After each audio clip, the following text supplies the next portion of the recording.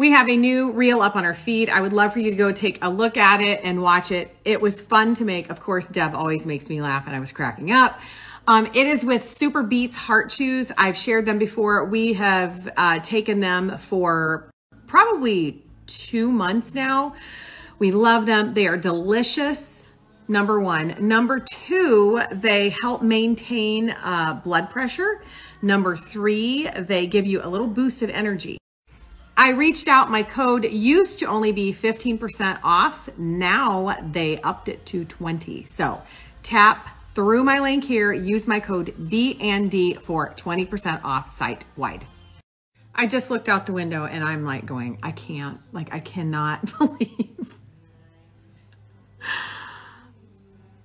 I just cannot believe how they can stand up on that roof and not be scared.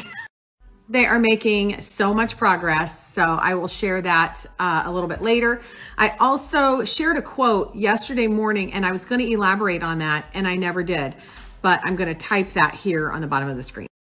I know that I skip around, but as we've said so many times, it is just, there's just so much that I could talk about that I don't think I can get it in chronological order because you just, things pop up and you remember. That quote reminded me of something that I told myself all the time after it happened. So, when you know that we sent her to rehab, and when we did, um, she was in a detox for two weeks, and then she was in rehab for three months. And then after rehab, she was in a halfway house. So she was there, and like one of the requirements there was to get a job by a certain time. Well, she had called me and she said that she has been looking everywhere and couldn't find a job, and um, that she was going to get kicked out. And basically, she had nowhere to go. And she told me this on a Thursday. As a mom, you want to rush and try to figure out how and where she could get a job. And I said, this is up to her. Like I kept telling myself, this is up to her to find a job. It's not me. If I need a job, I go out on my own. Nobody helps me. So she needs to go find a job. And Thursday, I was so stressed out Friday, Saturday, and Sunday were actually pretty much ruined because my anxiety was sky high. Monday came around and I was so anxious and I called her and I said, Did you ever find a job? Did you ever find a place to live? And she said, Wait, is today the day? I'm like, this is what that quote means. If you are working harder for someone else than they are for themselves, you're enabling. Like I said, I was not do actively doing anything to help her, but my life was affected by her decisions that she didn't even think a second thought over.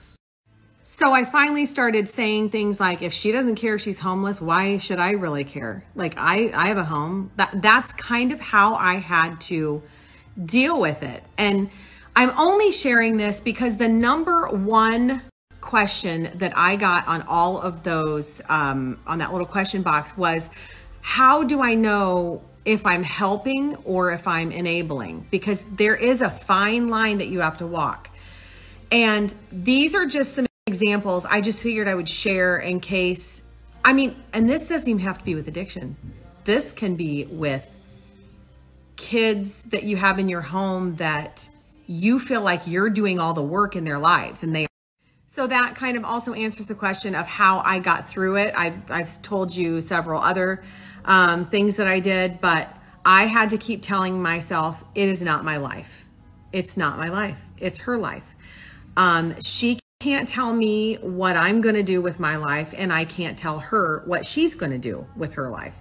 I can't tell her who she's going to hang out with, who she's going to marry, where she's going to work, what career she's going to have. That all lumps in with boundaries and figuring out that it's not your life. If this is what they want for their life, then so be it. It's not my first choice, but it's also not my choice. I also walked around a lot saying um, out loud, mind your business. Mind your own business. I remember saying that all the time. Mind when I would think, well, I wonder if she did mind your own business. It's none of my business. She's capable of making decisions. She knows what right from wrong is. And if she chooses the wrong path, it's none of my business. And one more thing on this topic. I just got a text from her. She said, I just took my last exam for school and she just walked out of the school for the last time and she said it is i just cannot believe my life and that i am going to be an rn she has her state to take yet but she's so smart so she'll be fine i'm going to get all of those plant well hopefully hopefully all of them deb I want to plant uh, some of them in here and then I will show you this area once we get it done. I just posted a new reel with the update. Um, I'm going to show it all here in a little bit. So they got a lot done again. I know it's not shocking, but I'm going to link the post here. Check it out. All right, here's the update. It is so fun to watch because it is like a puzzle. Um, like, I would have never thought that they would put the chimneys on first. They put these up first. They put this one, then this one, and they left this one so they could get some materials up through there. And then they did the middle one. And then they started on these chimneys. There's the second one. So they got, let's go in through the garage. They got um, all of this plywood up here. I don't think that was up last night. Like I showed you in the reel, they got all of these steps on. This will go to storage up here in an attic above the garage. This will, like I said, be the storage area above the garage. And that somebody asked me if these steps go all the way to the other upstairs. They don't. It only comes up here. And then there's the second floor and we'll go in to see that. First off, I wanted to show you this. They got the fireplace framed in on the kitchen side. So this will be the see-through one to the dining room. So they got that done. They also got the fireplace in the master framed in right here. That was not done. And then I'll show you what they got done upstairs. Last night they no, you stay down there. You stay down. Last night they didn't have these top steps on.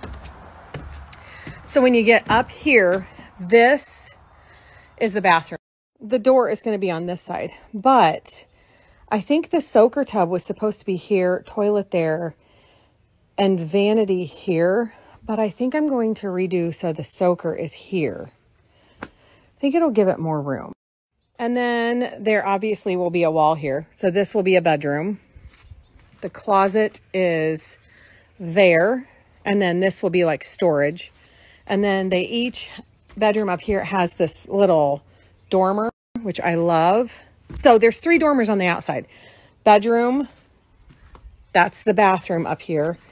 And then here is the other bedroom, closet, and dormer.